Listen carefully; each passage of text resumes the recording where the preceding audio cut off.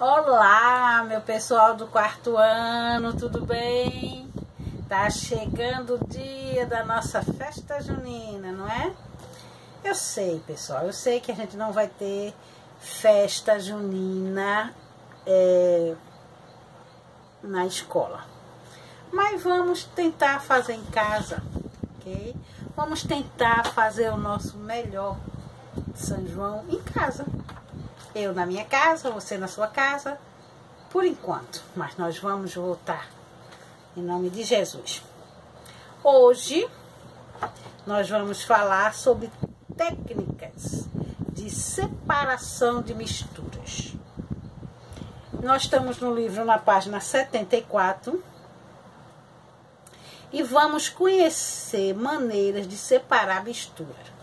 A gente já falou em maneiras de misturar, foi?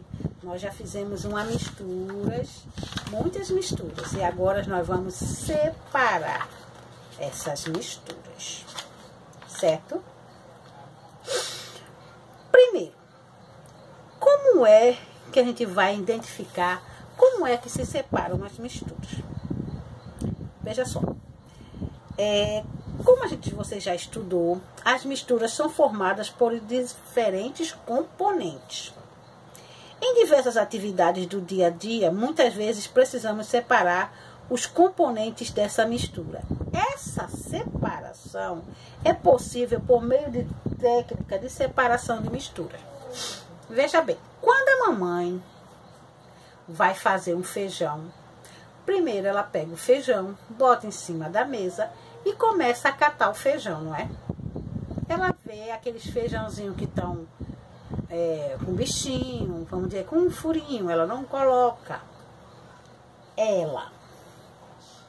Se tiver só uma bandinha de feijão, ela também não coloca, não é? Ela não coloca aquela só aquela bandinha de feijão. Então ela está separando. Aqui nesse desenho, nessa página aqui, tem o pai fazendo um suco e a mãe fazendo o feijão. Tá catando o feijão. Nem todo mundo é, tem esse tempo de fazer a comida em casa, certo? Nem sempre a mamãe pode fazer o nosso almoço. Então, quando a mamãe puder fazer a nossa comida, quando a mamãe puder fazer o nosso, o nosso, nosso alimento, dê valor. Porque muitas vezes a mamãe está trabalhando e não consegue. Ela gostaria muito de fazer o almoço, o jantar, mas muitas vezes a mamãe está trabalhando e não consegue, não é? Que a maioria das mamães agora trabalham fora também. Mas tem alguém que faz para vocês, ok? Vamos lá. Como você estudou, as misturas são formadas por diferentes componentes. Em diversas atividades do dia a dia, muitas vezes precisamos separar os componentes dessas misturas. Essa separação é possível por meio de técnica de separação de mistura. No preparo dos alimentos, uma refeição, por exemplo, diferentes técnicas de separação de mistura são utilizadas. Vamos ver a seguir agora. Atividade interativa, brincando com as técnicas de separação de mistura. Procure ingerir sucos naturais e com pouca adição de açúcar. Entre um copo de guaraná e um copo de suco, é melhor a gente tomar um copo de suco. E outra coisa, quando for fazer o suco, cuidado para não colocar tanta açúcar, tanta açúcar. A fruta, é, algumas frutas já vêm doces. Ela já vem com seu próprio açúcar. A manga, o caju. Só assim, se você for fazer um suco de tamarindo, tamarindo e, ou de limão, é que são um pouco mais azedo. Mas algumas frutas, a gente nem precisa botar, colocar tanto açúcar. Primeiro que não é bom para nossa saúde também. E depois, como se você botar muito açúcar, você não sente o sabor dos, da fruta, do, do suco. Você só vai sentir aquele doce, doce, doce que vai dar vontade de, de tomar água. Vamos lá? Laura está ajudando seu pai a preparar suco de melancia para o almoço.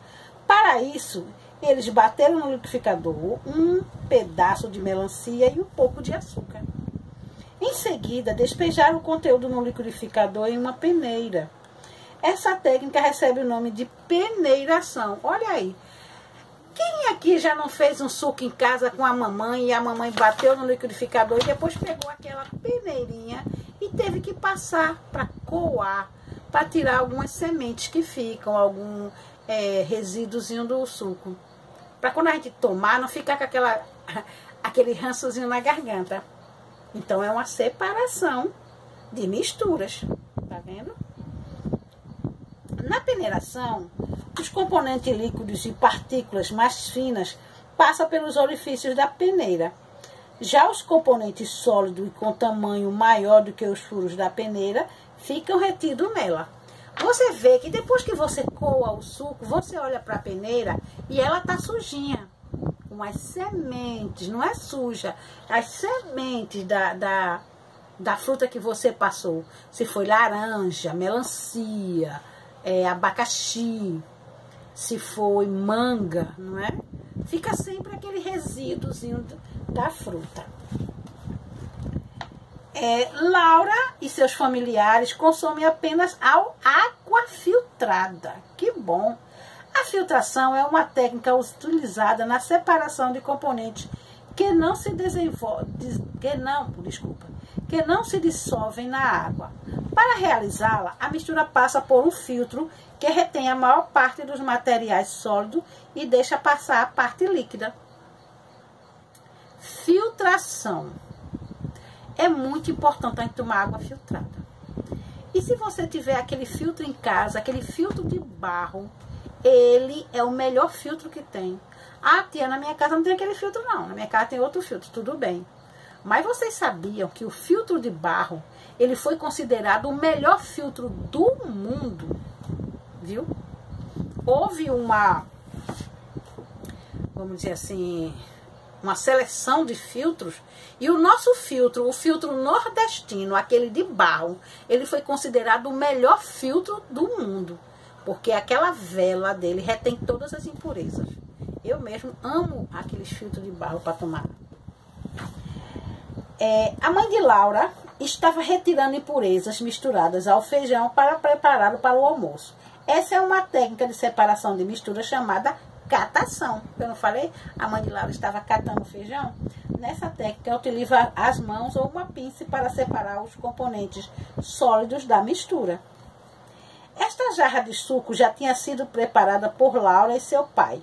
Havia havia alguns minutos. Algumas partes do sólido se, de, se, decompose, se depositaram no fundo da jarra. Nesse caso, o suco de melancia sofreu decantação. A decantação é uma técnica de separação que consiste em deixar a mistura em repouso por certo tempo. Nesse processo, parte da mistura se deposita no fundo do recipiente. A decantação é utilizada na separação de materiais que não se dissolvem na água. Olha, é, quando você faz um suco logo cedo e bota na geladeira, quando você vai tomar, você não vê que tem uma parte mais clara embaixo, em cima, mais clara em cima e mais forte embaixo, em alguns. E outros, como hoje eu fiz suco de maracujá aqui no almoço.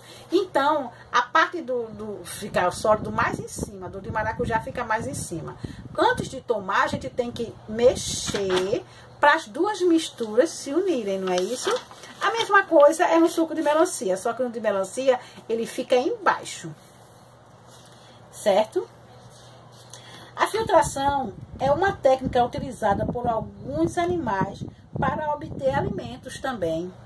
Por exemplo, as baleias, quando, elas, quando adultas, elas alimentam-se de plânctons, pequenos organismos que vivem livres na água. Certo? As baleias também fazem isso, viu? E. Cadê o outro aqui? Para isso ocorrer, a, a baleia absorve grande quantidade da água com o plâncton e com a língua empurra a água absorvida para fora da boca, retendo nas estruturas filtradoras somente o alimento. Muito legal, não é isso? Na página 76, na, vamos falar na, falar na prática. É, como podemos separar um material no estado sólido e que não se misture com o material líquido, se, sem realizar a filtração da mistura? Agora vamos investigar uma forma de separar os componentes de uma mistura. Materiais: um copo transparente, água, areia ou terra e colher. Coloque água no copo até completar aproximadamente 3 quartos de sua capacidade. Adicione duas colheres de areia ou terra. Misture os materiais utilizando a colher, até que a água fique com aparência barrenta. Em seguida, deixe o copo com a mistura em repouso por aproximadamente 10 minutos. Observe o que aconteceu. Letra B. Qual o nome da técnica de separação de mistura que você realizou nesse, nessa atividade? Letra C. A aparência da mistura se altera após o tempo de repouso? Sim ou não? E justifique sua resposta do item ao item anterior. É, letra E. A técnica de separação aplicada nessa atividade foi suficiente para a água se tornar límpida novamente? Sim ou não? Ao realizar a atividade acima, você deve ter percebido que a decantação não deixou a água novamente límpida. Isso ocorreu porque nem todos os componentes podem ser separados por meio dessa técnica. Ou seja, a técnica de separação utilizada varia de acordo com as características de mistura de seus componentes. Eu vou ali tomar uma aguinha e volto já para a gente continuar. Beijo. Continuando, nós agora vamos para a página 77. As técnicas de separação de misturas também podem ser utilizadas em outras atividades humanas, como por exemplo laboratoriais, nas indústrias e na extração de minérios. O sangue do ser humano, por exemplo, é uma mistura de componentes sólidos e líquidos. Para separar esses componentes, o sangue pode passar por uma técnica denominada centrifugação. Olha aqui. Os tubos contendo sangue são colocados em um equipamento chamado centrífuga. Nesse equipamento, os tubos giram rapidamente, fazendo a parte líquida do sangue se separar da parte sólida. Vocês já, já fizeram algum exame de sangue alguma vez? Vocês já viram que tem uns tubinhos que a gente tira o nosso sangue e bota lá? Depois que aquele, aquele sangue fica no tubinho, eles vão para uma máquina onde balançam eles. Ficam assim para separar. E para saber também se a gente está com alguma doença no sangue. Em Minas, de extração de ouro, os garimpeiros encontram um material precioso misturado a areia e a fragmentos de rocha. Para separar esses materiais sólidos, utilizam a técnica de separação chamada levigação. É, eles colocam essa bacia, que se chama bateia, e eles ficam girando, girando essa bacia, até eles acharem a as pedrinhas preciosas que eles estão procurando. Aí você vai dizer, ô Tirana, o que é que tem a ver o sangue na centrífuga com a bateia? Tem tudo a ver. O sangue não fica no tubinho que eu falei, no tubinho de ensaio? O tubinho não vai para o, o, laboratório? No laboratório não vai para a centrífuga, onde ele gira, gira, gira para tirar o líquido do sólido? A mesma coisa faz a bateia, só que a bateia de uma maneira mais manual, não é com máquina. Os homens que ficam lá, os garimpeiros, eles ficam girando, girando a bacia até sair a, a água e a areia e ficar a pedrinha que eles estão procurando. É, minas são os locais onde ocorre a extração de minérios e minérios são minerais ou rochas de interesse econômico como o ouro. Mas eles procuram só o ouro? Não, ouro, prata, pedras preciosas. Ô tia, e aqui no Brasil tem? Tem. E muito. Nós somos ricos. Só que nós não temos. É... Quando eu digo somos ricos, é o ricos a, a da natureza. E não nós. Nós, nós quando eu falo em nação, que o Brasil é muito rico. Ok? Então é muito interessante, né? Você tira o sangue, ele bate numa máquina e para você conseguir as pedras minerais, você botar uma bacia e bater e conseguir tirar o sólido do líquido. não é? É bem interessante, do manual à máquina.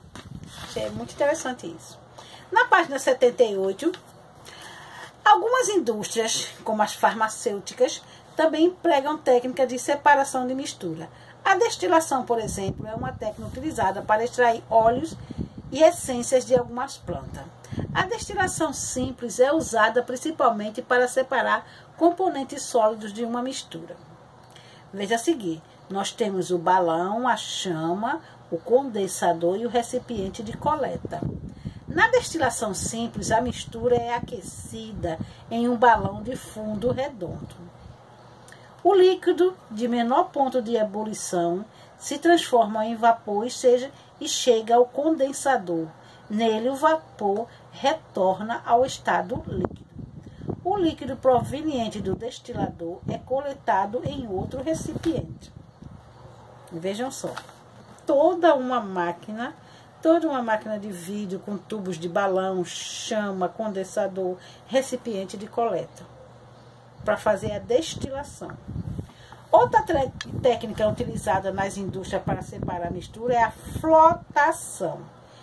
Essa técnica consiste em separar componentes como sólidos e gorduras, utilizando um líquido que não os dissolva.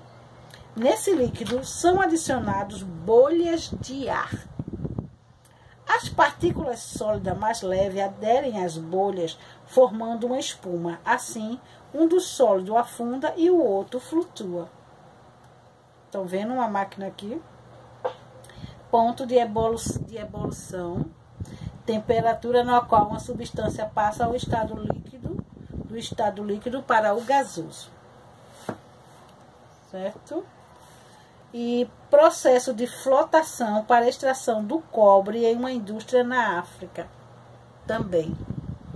Tem dois tipos de, de, de ebulição: a temperatura de, do estado líquido para o estado gasoso e o processo de flotação também na extração de cobre na África. Toda essa mistura, todo esse processo de separação de, de misturas é muito interessante. Quando a gente pensa que só tem essa separação de mistura na nossa cozinha, na comidinha que a mamãe faz, no nosso lanchinho, mas não. Também tem na farmácia, nas indústrias e em muitos outros lugares, certo? Cada um com o seu jeito, mas cada um tem sua separação de mistura. Pense nisso. Tchau. Beijo de Tia Naná.